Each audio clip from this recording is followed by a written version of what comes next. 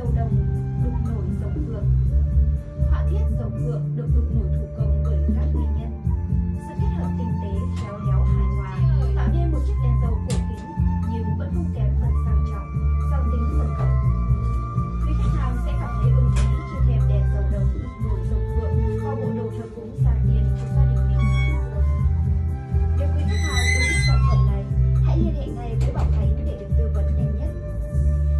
anh rất hy vọng sẽ luôn nhận được sự tin tưởng.